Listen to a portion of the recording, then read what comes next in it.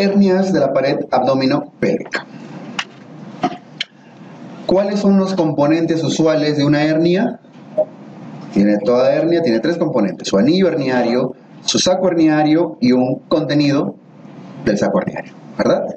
En el anillo herniario, este anillo, eh, la característica en las hernias es que el anillo es un orificio natural, natural le ponemos entre comillas, anatómicamente constituido, que es la, palabra que suelen poner en los exámenes, o sea que es un anillito, un orificio que pues siempre estuvo ahí, desde que nacimos.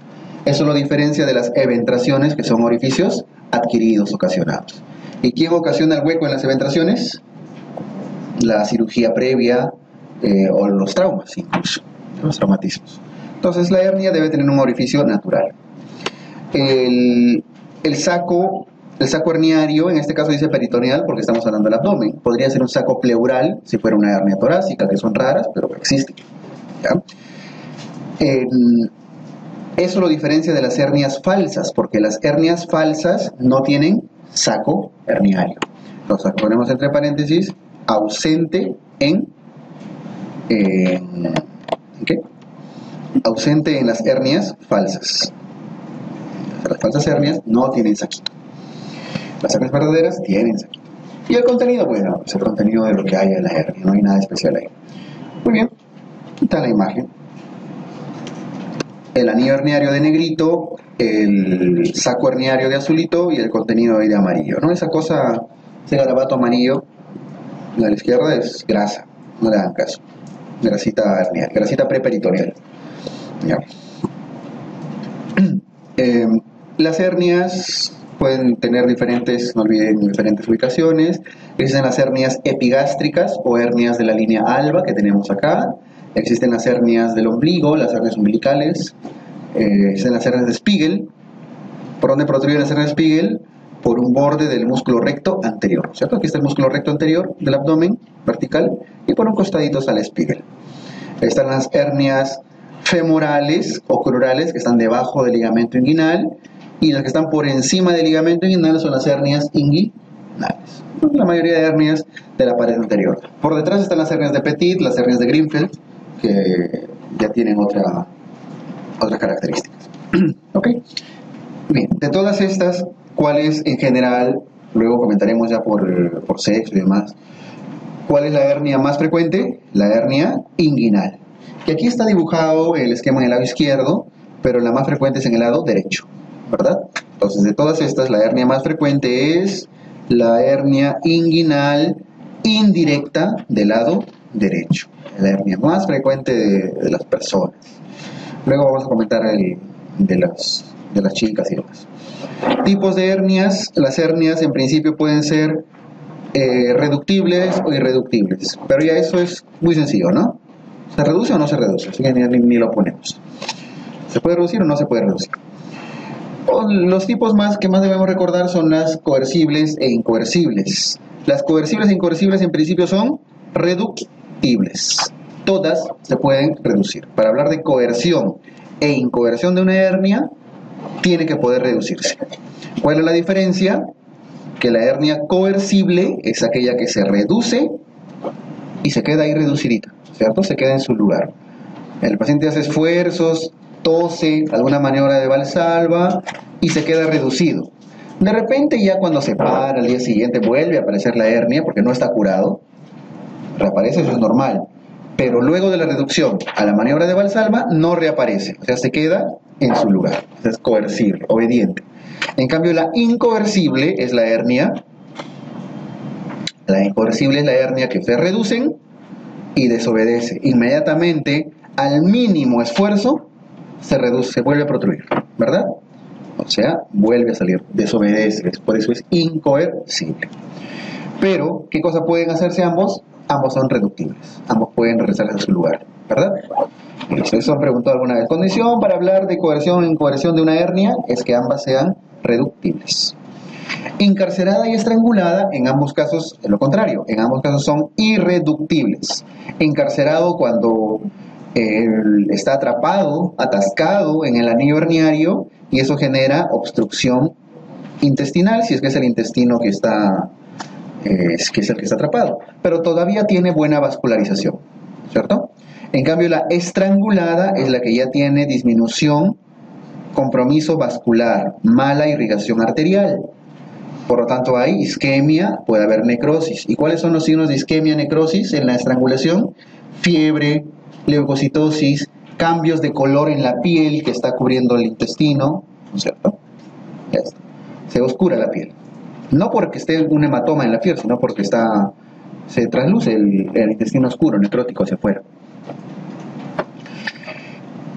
Listo, pero son ambas irreductibles, ¿no? Existen las hernias por deslizamiento. ¿Cuándo era por deslizamiento la que está abajo? Cuando el, contenido de la hernia, en este caso el intestino, que está en el gráfico, se pega al continente, se pega al saco, se adhiere. El contenido termina formando parte del saco, está pegadito. Hernias por deslizamiento. La hernia eh, mixta o en pantalón corresponden a las hernias, la mixta cuando hay una directa más una indirecta, ¿no es cierto? Ambas áreas, en las inguinales. Y en pantalón, ¿a qué se refería? ¿Se acuerdan quienes ya hicieron la primera vuelta? Con las hernias gigantes que salen por ambos lados de los vasos epigástricos. O sea, las NIHUS tipo 3B. Vamos a hacerle un ratito, vamos a recorrer en un ratito, pero ya. Recuerden que el pantalón es la hernia gigante que sale por ambos lados de los epigástricos, de las arterias epigástricas. Listo. Eh, acuérdense la diferencia entre dehiscencia, eventración, evisceración. Eh, dehiscencia, sobre todo, dehiscencia eh, se denomina cuando hay ruptura de un ruptura de un eh, de una anastomosis, de una sutura en general, ¿no? Cuando hay ruptura de las suturas. Eventración cuando eventración está de rojito porque deben recordarlo. cuando eventración cuando el, el el anillo herniario no es natural. El anillo por donde está protruyendo es un orificio adquirido. Orificio de salida adquirido usualmente por cirugía previa. Y evisceración no significa nada, simplemente que la tripa se sale fuera del abdomen en este caso y nada. Puede ser secundaria una eventración, secundaria una dehiscencia, etc. Listo. Hernias especiales, la hernia de Richter, intestino pellizcado. ¿En qué borde del intestino se pellizca? en el borde antimesentérico. Borde antimesentérico. O sea, la hernia, intestino, un bordecito, como si estuviera saliendo de un divertículo. Y, los vasos mesentéricos están del otro lado. Se hernia el borde antimesentérico. La hernia del litre es aquella que contiene el divertículo de Meckel. Súper preguntado. La hernia de Amiens, cuando el apéndice está en el saco inguinal. La hernia de Garengot, cuando está, cuando está en el saco crural.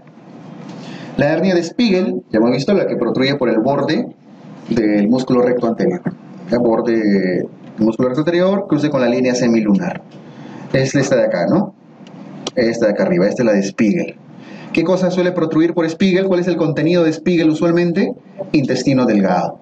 Intestino delgado intestino delgado. La hernia de Meidel, está abajo, es cuando hay un doble asa herniada. No sé si se acuerdan de la, asa de la hernia de Meidel, pero bueno, en todo caso era así, más o menos, cuando doble asa se está herniando, o sea, se sale el intestino, el asa intestinal, regresa, se forma un bucle, un bucle interno, luego vuelve a protruir, o sea, doble asa. Esto es. Eh, la parte externa es esta, ¿no? Salud externa e interna. Doble asa herniada. Una característica de Maidel es que el primer segmento que se necrosa, el primer segmento que hace isquemia y se estrangula es el bucle interno, es este de acá. Este de acá es el que suele necrosarse con más frecuencia y más precozmente. Después los demás, ¿no? Es una característica ya rebuscada de Maidel. Doble asa herniada. ¿Qué cosa protruye? Intestino delgado, por supuesto. Entonces, como verán, la mayoría de hernias protruye intestino delgado con más frecuencia, salvo Amiandi, Garengot y Litre. Listo. A ver, hernias. Antes de entrar a inguinal, las hernias, algunas hernias relativamente raras, la hernia umbilical es se comporta distinto en los adultos que en los niños. En el caso de los adultos, la hernia umbilical es la más frecuente de las mujeres, de las chicas, ¿cierto? Es la más frecuente, sobre todo en mujeres gestantes, puérperas, mujeres adultas en general. Esto es epidemiología así antigua, arcaica, pero que todavía debe ser como se debe manejar en el examen. Porque, ya les he explicado en la primera vuelta, porque pues esto salía de que la mujer es, toda mujer adulta tenía que gestar, ¿no? Era condición básica. Y no solo uno, sino dos, tres, cuatro, cinco, seis, diez, doce, quince hijos. Entonces, todas las, todas las mujeres adultas en el momento tenían su hernia umbilical. Es la más frecuente. Ahora, ya bueno, con la menor tasa de natalidad y demás, probablemente esto esté reduciéndose. Alguien, alguien tiene que estudiar eso. Em, pero bueno, en todo caso, la hernia más frecuente de la mujer gestante, adulta, puérpera y demás es la hernia umbilical. Factores asociados relacionados, el embarazo, la obesidad, la citis y todo aquello en el que aumenta la presión intraabdominal, la debilidad de la cicatriz umbilical, etc. Resaltamos hernia umbilical, mujeres. Suele herniarse epiplo. Esto es lo otro que hay que resaltar. Por la hernia umbilical no suele protruir intestino delgado. Porque ¿quién está cubriendo como una cortina detrás de la pared? El epiplo. Y el epiplon es un repliegue de peritoneo visceral, ¿cierto? Por lo tanto, ¿qué inervación tiene? Simpática. Por lo tanto, cuando se tracciona el epiplon, hay estimulación simpática y eso genera nuevamente dolor inespecífico, náuseas, vómitos. El mismo dolor del aneurisma abdominal, el mismo dolor de las primeras horas de la apendicitis, ese dolor raro que no saben qué es. Listo. Puede generar vómitos por estímulo simpático. Entonces el paciente está vomitando, está con dolor y le ven su bola en el ombligo y dicen ya se metió el intestino, ya se encarceró el intestino, ¿no? No es intestino, está vomitando porque se está traccionando el epiplon que es peritoneo visceral. Tratamiento, nada, su mallita. Cirugía, su malla. Nada especial acá. En niños, no olviden que el anillo umbilical se cierra alrededor de los 2 o 3 años. Algunos esperan hasta los 4 incluso. Lo más probable es que se cierre. Se opera solo si tiene más de 2 centímetros o si es que no ha cerrado luego del tiempo prudente. Es decir, cuando operan una hernia umbilical en niños, cuando al nacer es muy grande y saben que nunca se va a cerrar, 2 centímetros en adelante, para 2 centímetros en una barriga de un adulto puede ser nada, pero en la barriga del bebito es, es enorme. Entonces es una medida importante para ellos. Si tiene 2 centímetros o más, hay que operar. Si tiene menos de 2 centímetros, hay que esperar 2, 3 añitos a que se cierre solo. Recién después de los 3 años, ven, si no se terminó de cerrar, si le falta mucho, ya pues lo opera. Entonces la conducta quirúrgica es por el tamaño al nacer o si es que después de ciertos años no ha cerrado. ¿Ok? El tratamiento es sencillo, coser la hernia, cerrar el hueco, nada especial. Tiene su nombrecito, cirugía de mayo, la técnica de mayo. Puede ameritar que lo recuerde. Se cierra hacia los 2-3 años y se opera si tiene más de 2 centímetros. Listo. Esto hernia umbilical es sencillo. Ahora, en los niños sí es posible que se hernie intestino delgado, ¿verdad? Porque el epiplon en los niños es cortito es inmaduro, no llega al ombligo. El epiplon de un bebito, de un niñito, recién está naciendo de la curvatura mayor del estómago y tiene que crecer. Entonces, probablemente el ombligo no esté cubierto de epiplon y sí se tenga que salir intestino delgado y sea más peligroso. ¿Ok? Sí es posible. Las hernias epigástricas son raras, se han preguntado en solo una vez en 20 años. Eh, está ubicado en la línea alba, ahí como está la figura. Es una hernia falsa. ¿Por qué es falsa? Porque no tiene saco herniario y además el contenido no sale del abdomen. ¿Qué hay que agregarle? No tiene saco herniario.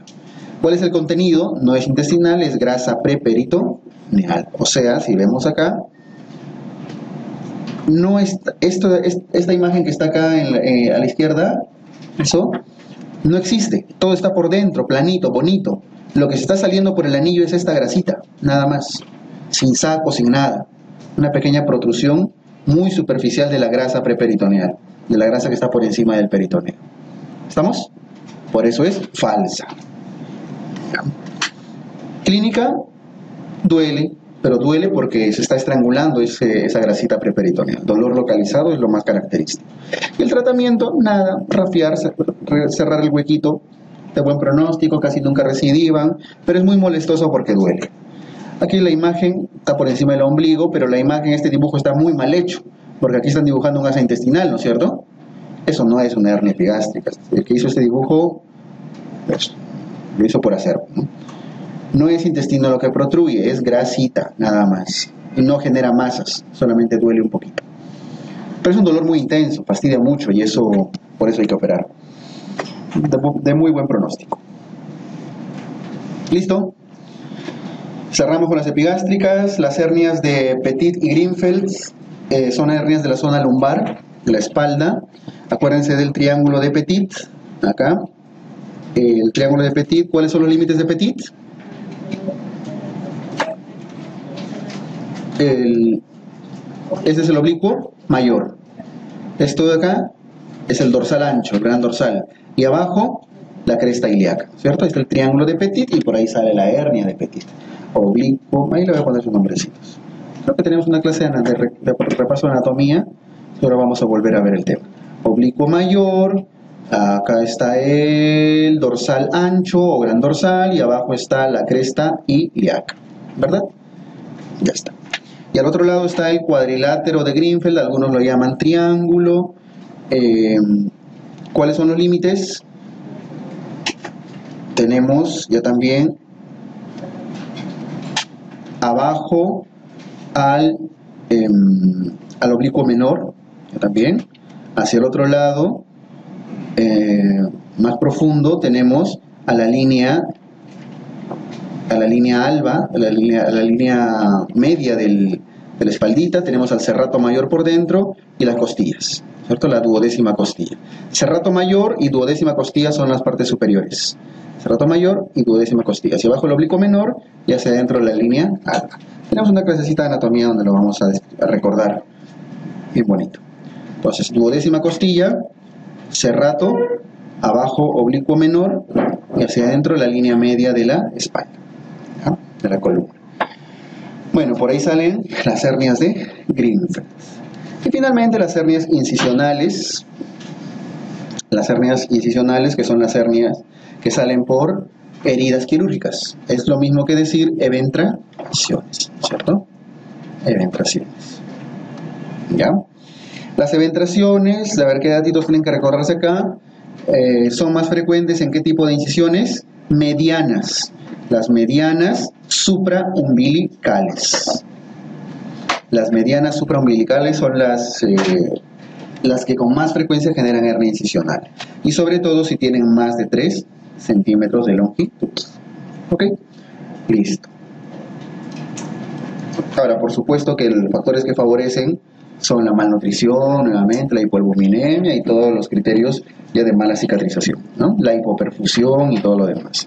Pero desde el punto de vista de la hernia, de la incisión que genera, es eh, la ubicación mediana supraumbilical y el tamaño, más de 3 centímetros. Listo. Cerramos esto y Vamos a hernias inguinales.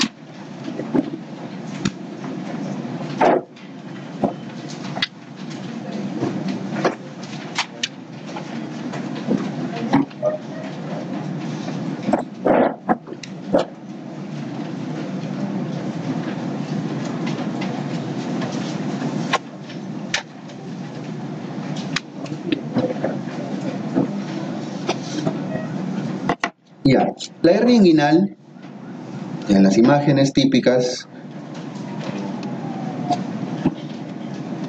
tanto en un niño como en un no tan niño, ¿no?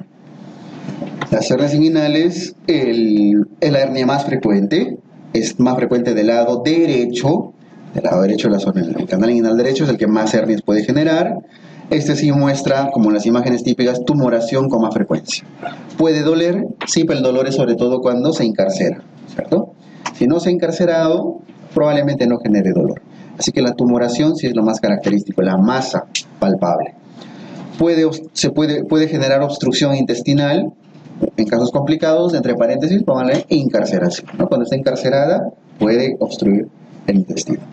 Y el órgano más frecuentemente herniado es el intestino delgado, en la zona inguinal, al igual que el resto de zonas esto. Listo. La diferencia, eh, hay hernias directas e indirectas. Y recuerden básicamente la, eh, cuál es el punto de, diferencia, los vasos epigástricos inferiores, ¿cierto? Los vasos epigástricos inferiores que están acá dibujaditos de negro son rama de los vasos ilíacos externos. Estos vasos ilíacos externos, que bueno, aquí ya se llaman femorales porque ya cruzaron el ligamento inguinal, dan estas ramitas recurrentes hacia arriba, los vasos epigástricos inferiores. Si el nacimiento del, de la hernia fue de la, la, zona lateral a los vasos, externo a los vasos, es una hernia indirecta, ¿no es cierto? Si el nacimiento de la hernia fue interno o medial a los vasos epigástricos, es una hernia directa. Y si el nacimiento de la hernia es por debajo del ligamento inguinal, es una hernia crural o femoral. Aquí están dibujadas solamente dos hernias, la crural o femoral que está por debajo del ligamento inguinal y la indirecta que está, como ven, está naciendo por el anillo inguinal profundo, lateral a los vasos epigástricos y recorre este canal que es el conducto peritoneo vaginal. O sea, hay un conducto persistente por dentro del canal inguinal que debió estar cerrado, pero no, pues no está cerrado, está permeable.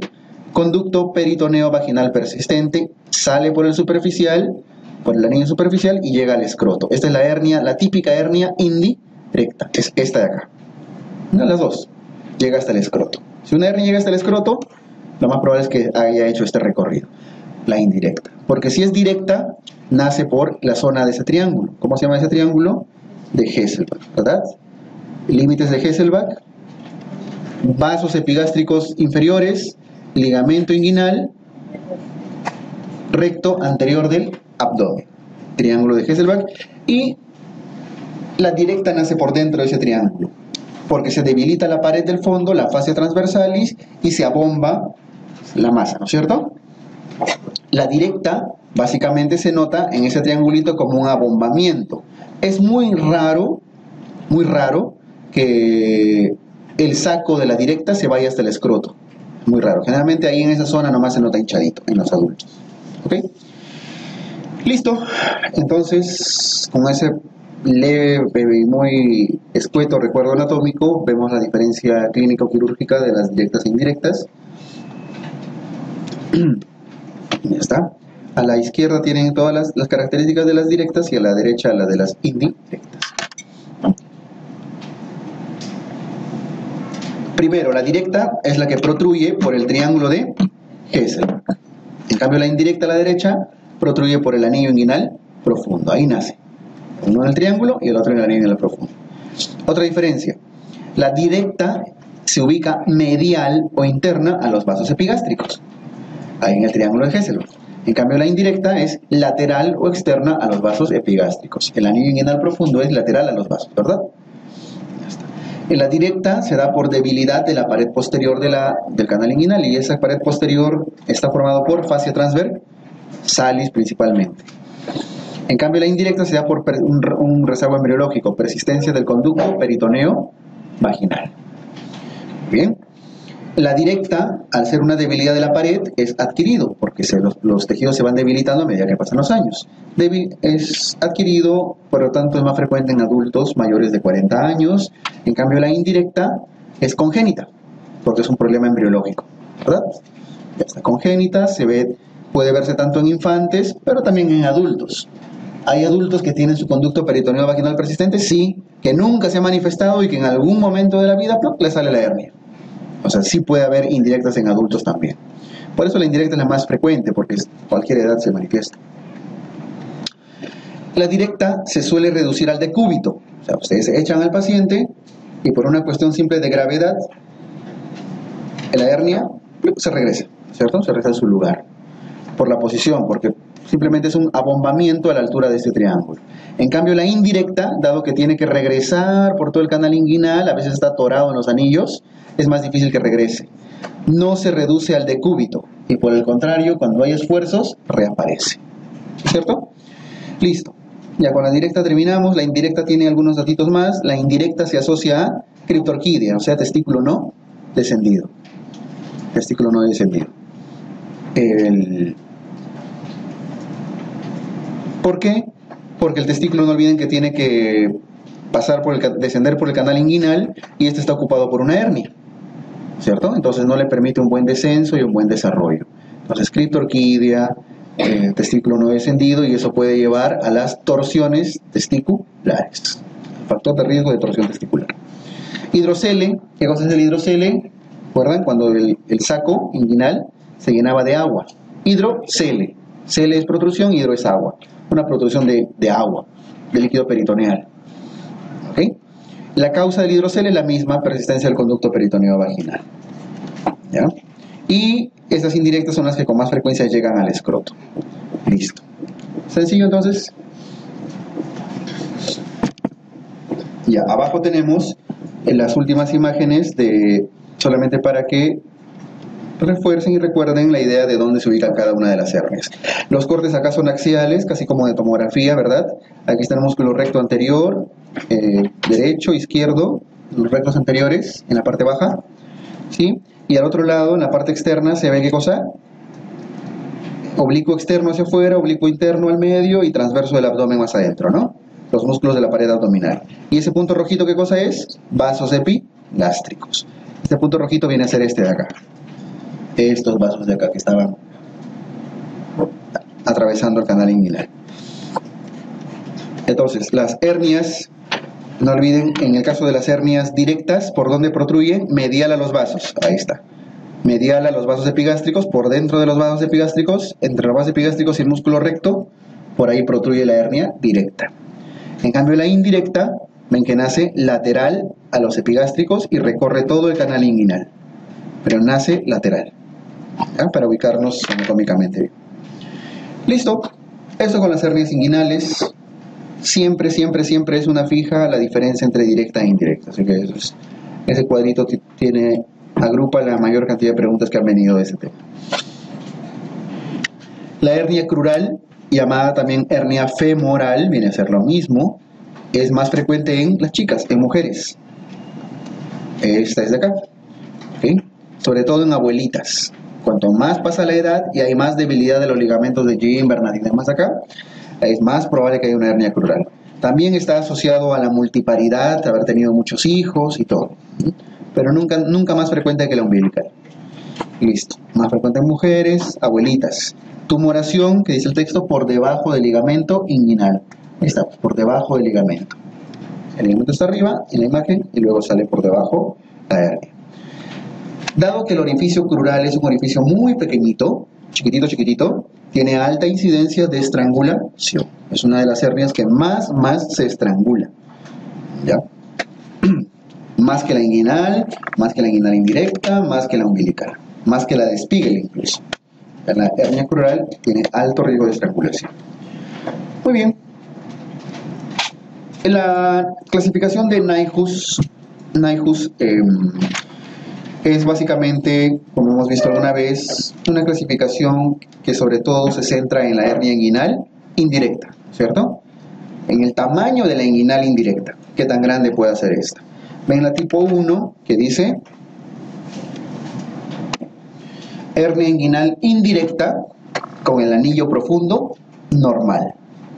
O sea, una indirecta que nace por el anillo profundo, este anillo profundo está normal, no se dilató, por lo tanto, las hernias indirectas pequeñas son NICUS tipo 1. La tipo 2 que dice hernia indirecta con el anillo profundo que ya se dilató, pero los vasos epigástricos no se han desplazado y la pared posterior está intacta.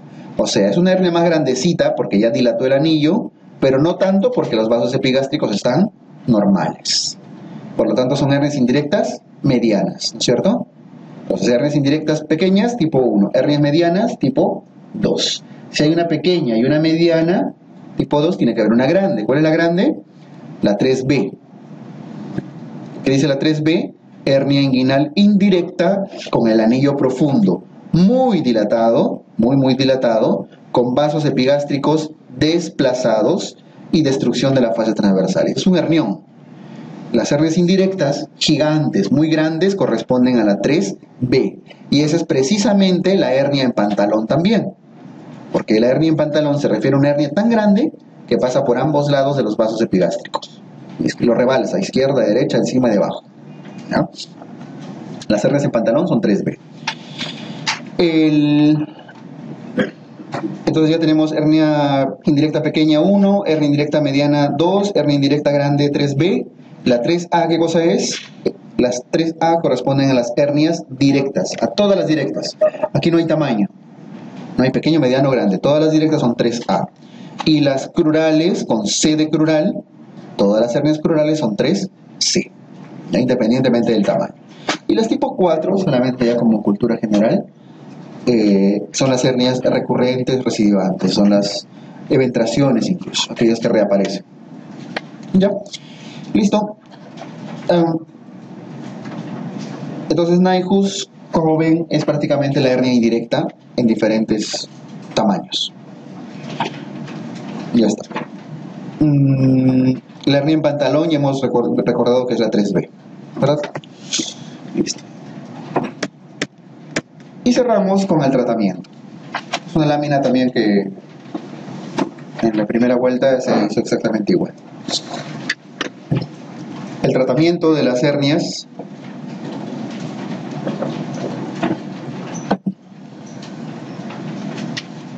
depende de la causa que la ha originado. Dado que en la mayoría, dado que en la mayoría de dado que la mayoría de hernias en los niños son indirectas por persistencia del conducto peritoneo vaginal, o sea, lo de la izquierda, el tratamiento en los niños, ¿en qué consiste? En cortar el saco herniario. ¿Cuál es el saco herniario? El conducto peritoneo vaginal, ¿no es cierto? Entonces, el conducto peritoneo vaginal, ese saco herniario debe ser cortado, por eso es herniotomía. Tomía viene de la palabra cortar el saco herniario, resecar el saco herniario indicado en hernias indirectas en niños principalmente. ¿Cuál es el concepto y la palabra o la frase que deben recordar? Ligadura del sac, ligadura alta del saco herniario. Esa es la definición eh, ya en todo el mundo de lo que es el tratamiento de las hernias en niños. Ligadura alta, lo más arriba posible, del saquito herniario. ¿Y cuál es el saco herniario? El conducto peritoneo vaginal persistente, pues, ¿no? Las técnicas, las técnicas de McKay, la técnica de Potts, Está bien escrito McKay, ¿no es cierto? No es McVeigh, que es para adultos, esa es otra. Es McKay con K. Está bien escrito acá. Y POTS también. ¿En qué consiste? Rápidamente, solo en que el conducto persistente es el, el canal herniario abierto y aquí está el saco herniario, ¿no es cierto? Cómo se tiene que cortar y amarrar lo más arriba posible, cerca del anillo profundo, justamente para, para que ya no haya conducto peritoneo vaginal. Ven que queda un muñoncito incluso en la imagen. o sea, solamente para recordar en qué consiste, en ligar y cortar como si fuera un apéndice lo más arriba posible. Por eso se llama ligadura alta del saco hernial. Cierre del conducto peritoneo vaginal. las, las, diferentes técnicas se deben a que la técnica de McKay se usa en varones. La técnica de McKay es para varones. y la técnica de POTS es para las chicas, ¿cierto? Para mujeres. ¿Y por qué diferente? Porque en los varones hay más cosas que disecar ahí. Pues el conducto diferente, el cordón espermático y diferentes cosas, ¿cierto? En las chicas solamente el ligamento redondo. El ligamento redondo, que es uno de los que da la posición de anteverso flexión del útero, ¿verdad? Junto a los ligamentos cardinales y demás. Pero bueno, dado que son estructuras distintas, las técnicas son distintas también. Nunca han preguntado el nombre de la técnica en niños, pero bueno, sería lo, en todo caso lo que habría que recordar, lo mínimo, el nombre. hay varones, POTS mujeres. En, en, adultos ya no es un tema tanto de persistencia del conducto peritoneo vaginal, sino de debilidad de todos los tejidos. No solo de la fascia transversalis en el triángulo inguinal, sino incluso del mismo anillo, del mismo anillo, anillo inguinal profundo. También está debilitado. Toda la, el, el, adulto puede haber tenido su conducto peritoneo vaginal persistente toda su vida, pero nunca se hernió, porque su anillo era competente, era firme. Pero ya con la debilidad de tejidos, el anillo se va debilitando, debilitando, debilitando, y la hernia indirecta, flum, sale. Entonces, no solo por el tema de la directa en el triángulo inguinal, sino por las indirectas también, el concepto de los adultos es debilidad de tejidos. Por lo tanto, hay que reforzar tejidos, ¿cierto? Ya está. Entonces, pueden reforzar la pared posterior rafiando los bordes de la hernia, o sea, hacer una herniorrafía, que es, por ejemplo, esta de acá, en el cual se está uniendo la parte superior del canal inguinal con la parte inferior del canal inguinal. Están rafiando. Bueno, esto está mal porque están haciendo una sutura continua debería ser una sutura simple, puntos separados, porque a la primera que se abra un puntito todo va a volar, ¿verdad? nuevamente, no siempre los dibujos que ven son los también hechos. Debería ser separaditos. Pero bueno, aquí están uniendo el ligamento inguinal que está abajo con el tendón conjunto que está arriba. Esa es una cirugía de Bassini, por ejemplo. Reforzamiento de la pared posterior suturando los tejidos. Entonces, el gran problema de estas herniografías es que generan mucha tensión. Generan, son reparaciones osulares o con tensión altamente tensas, por lo tanto, son fácilmente eh, recidivantes, ¿no es cierto? Puede reaparecer más aún si le hacen esta sutura continua como aparece acá. Entonces, ¿cuáles son las herniografías clásicas de los adultos? No se usa malla, por supuesto, acá, está uniendo tejido de frente. Bassini, que une el ligamento inguinal, que en este caso está acá abajo, con el tendón conjunto, que en este caso de la imagen está arriba. ¿Conjunto de quiénes? Tendón conjunto del oblicuo menor con el transverso del abdomen. Son los dos músculos que llegan a formar el tendón. Listo. Ese es Bassini. McVeigh hace lo mismo, solamente que sutura el ligamento de Cooper, que está más abajo, más distal, y el tendón conjunto. ¿Verdad? Schuldeis lo que hace es una sutura imbricada de la fascia transversalis. Esta imagen, ¿por qué esta imagen eh, le ha puesto sus puntos continuos? Porque este es en realidad el Schuldeis, el que estamos viendo acá. No sé si alcanzan a ver que por dentro hay unas suturas aquí en este huequito se ve chiquitito. Es la fascia transversalis que está por dentro, en el cual le han hecho una aplicatura. No es que la fascia transversal está chorreada porque está laxa, entonces lo han arrugado, lo han arrugado y lo han cosido, como una aplicatura. A eso le llaman sutura imbricada. Entonces, como ya ha reforzado la fascia transversalis por dentro, lo ha tensado, encima le hace un bacini. En eso consiste Schuldeis. Reforzamiento, imbricación, plicatura de la fascia transversalis, invaginación de la fascia transversalis y su sutura y encima su bacini para que refuerce mejor, ¿no? Seguramente como es una doble técnica es que aquí han justificado hacer una sutura continua, probablemente, porque ya tiene doble refuerzo. Eso hace Schuldeis. ¿Qué hace Marcy? La técnica de Marcy es una rafía del anillo inguinal profundo. Rafía del anillo inguinal profundo. ¿Cuál es el anillo profundo? ¿Qué está haciendo acá? El anillo profundo está dilatado está dilatado. Y al cerrarlo, al rafiarlo, ¿qué hernias está evitando? ¿Directas o indirectas? Indirectas, ¿no es cierto? Porque está reforzando el anillo inguinal profundo. Por lo tanto, Bassini, McVeigh, Schuldeis principalmente son para hernias directas, aunque si es que están bien hechas, también van a evitar las indirectas. Y Marcy, sobre todo para hernias indirectas. ¿Ok? Porque está rafiando, pero en todos los casos hay rafía de tejidos. Por lo tanto, hay tensión y por lo tanto hay alta recidiva, alta recurrencia. Eh, Bassini, Mabey, estamos diciendo que es sobre todo para directas, pero de alguna manera indirectamente también refuerza una indirecta, porque está reforzando todo el canal inguinal. Eh, las hernioplastías, la palabra plastía usualmente eh, eh, significa prótesis, ¿no es cierto? Por ejemplo, cuando dicen artroplastía, significa que están colocando una prótesis de, la articulación, cadera, por ejemplo. Entonces, hernioplastía es colocar una prótesis en la hernia, en el canal herniario, en el canal inguinal. Al colocar una prótesis, están evitando generar mucha tensión a los tejidos, por lo tanto son sin tensión. Por lo tanto, tienen baja recidiva o baja recurrencia. A la cabeza, el de menor recurrencia de todos, el de elección, el más bonito, el que sigue siendo el, top, Liechtenstein. La cirugía de Liechtenstein coloca una malla que suele suturarse al ligamento inguinal y al tendón conjunto, o sea, como si fuera un bacini, pero con malla, o sea, esto de acá. Coloca su mallita, lo fija arriba, lo fija abajo, muy inteligentemente ha puesto sus puntitos separados acá así, ¿no? Justamente para que no haya recidiva de la, de la hernia. Si se dan cuenta, está reforzando, está el cordón espermático, este un varón. Si se dan cuenta, está reforzando no solamente la zona del triángulo inguinal, sino también la zona del anillo herniario, del anillo inguinal profundo, perdón. O sea, Liechtenstein, aun cuando está usando conceptos de reforzamiento de la, de la, del triángulo inguinal, también está evitando hernias indirectas. Notan la, todo está tapando, ¿verdad? Para que ni siquiera por el anillo profundo salga algo. Cuidando nada más de no ahorcar al cordón espermático. Aquí se supone que le he hecho un huequito para que no esté ajustado. Si no, lo va a terminar ahorcando. Eso granula y lo ahorca.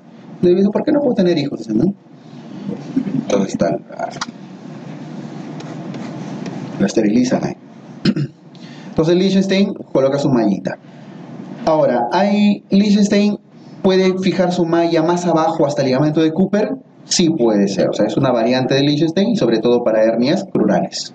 Es lo ideal incluso, que la malla esté tapando no solo el canal inguinal, sino también sea, vaya hasta más abajo para tapar el orificio crural, sobre todo en mujeres. O sea, tendrían que fijarlo hasta Cooper, ¿verdad? Pero también sigue llamándose Liechtenstein. O sea, ¿cuál sería la técnica de elección para las hernias, eh, la, la, de elección en crurales? Sigue siendo Liechtenstein, solamente que tienen que fijar su malla hasta abajo. Listo. Una característica de Liechtenstein es que colocan la malla por delante, ¿no es cierto? Por delante del canal inguinal, por vía anterior. Entonces ahí le completamos por vía anterior. Eso lo diferencia de Naihus, que es bien parecido, nada más que la malla colocan por vía posterior. O sea, la malla no van a abrir el canal inguinal, sino cortan más arriba o cortan más abajo en el pubis para que la malla entre por detrás, por detrás de la fascia transversalis. Ahí la malla va por, por detrás de la fascia transversalis, por encima del peritoneo. Cuando usan el Naihus, cuando por algún motivo ya no pueden colocar su malla por delante. Eso suele ser cuando hay recidivas. Por eso Naihus dice, reparación posterior, la malla va por detrás, delante del peritoneo, y sobre todo indicado en hernias recidivadas. Recidivas ya sea de Liechtenstein o de Bassini o de McVeigh, de cualquier cirugía en el que hayan abierto el canal inguinal por delante. ¿ya? La técnica de Stopa es lo mismo que Naihus, es igualito, solamente que colocan su malla también en espacio preperitoneal, igual que Naihus, pero por la parosco o sea, como está acá. En estopa, meten su malla ahí. Pero tienen que cubrirlo de peritoneo, obviamente, porque la malla no debe tener contacto con los intestinos, ¿no es cierto? Por eso se llama malla preperitoneal. Técnica de estopa, que es la paroscopía. Ahora, ¿cuándo justifica hacer estopa? ¿Cuándo está indicado una laparoscopía sí o sí? Cuando las hernias son, como está acá en esta imagen, bilaterales, por ambos lados, izquierda y derecha. Entonces, útil en hernias bilaterales.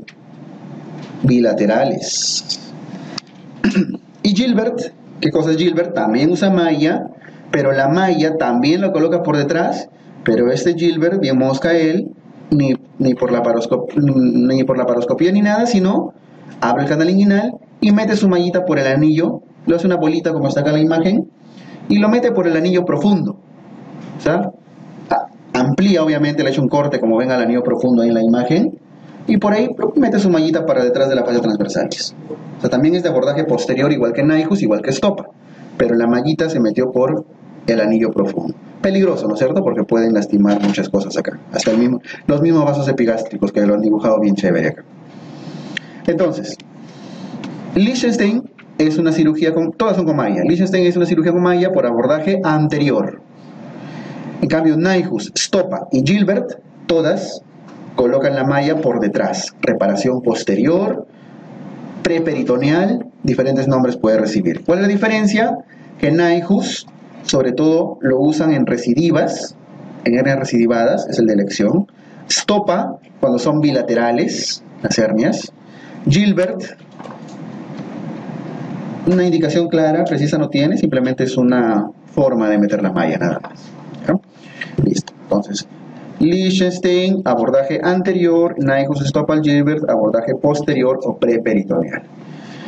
Y finalmente cerramos esta parte con recordando las técnicas de la paroscopía modernas, ya que es lo que hoy en día se está haciendo, el TEP y el TAP. Cuando en ambos casos tienen que colocar la malla por detrás del, del canal inguinal, o sea, preperitoneal. La diferencia está en las siglas la, técnica del TEP es totalmente extra peritoneal, o sea, se coloca la malla por la paroscopía, pero sin abrir el peritoneo, ¿cierto? Y el TAP se coloca la malla por la paroscopía, pero eh, abriendo todo el abdomen. Transabdominal, preperitoneal. Transabdominal, preperitoneal. Solo para, si no recuerdan eso, ya mucho más simple, lo recordamos, la piel, el canal inguinal, canal inguinal, no olviden que la pared posterior del canal inguinal es la fascia transversalis, ¿no es cierto? ¿Ya? El, y el peritoneo. Así simple nomás. El peritoneo y los intestinos. ¿Ya? Estamos viendo un corte transversal, ¿no es cierto? Piel, canal inguinal con su fascia transversalis atrás y el peritoneo. Liechtenstein lo que hacía es colocar su malla acá adelante, ¿verdad? Esa línea negra es una malla de Liechtenstein, abordaje anterior. Cambio Nyhus, Stopa, Gilbert y el Tep Tap, todas esas técnicas, la malla tiene que colocarse acá, detrás del canal inguinal. Por eso se llama abordaje posterior. Y además debe quedar por delante del peritoneo, por eso se llama preperitoneal. Ahí va la malla. Nunca la malla debe estar detrás del peritoneo, porque no debe tener contacto con los intestinos. Al menos no debe quedarse ahí. ¿Ya? Entonces, ¿en qué se diferencian el TEP y el TAP? Ambas son laparoscopías, nada más que en el TEP, totalmente extraperitoneal, hacen su cirugía laparoscópica, ponen su trocar, todo, pero no atraviesan el peritoneo en ningún momento. Meten su trocar, sus pinzas y todo va a estar el neumoperitoneo, el aire que van a inflar está por encima del peritoneo, no lo atraviesan, por eso es extraperitoneal. Y ahí trabajan y colocan su malla. Difícil, porque hay poco espacio, inflar esta zona es complicado y, muchas veces perforan el peritoneo y caballero hay que, hay que abrir el abdomen. Eso es TEP, totalmente extraperitoneal. Y TAP es transabdominal, o sea, su, su laparoscopía atraviesa todo el abdomen, todas sus pinzas y demás, y trabajan desde adentro. Le hacen un hueco al peritoneo para colocar la malla donde debe quedar y luego cierran el peritoneo. Para algunos es más fácil porque tienen más espacio para inflar y todo, ¿no? Pero están atravesando toda la pared abdominal. Por eso es transabdominal preperitoneal porque la malla termina en el espacio preperitoneal. De todas estas, ¿cuál es la de elección? Sigue siendo Liechtenstein como tratamiento de elección de las hernias por su baja residencia.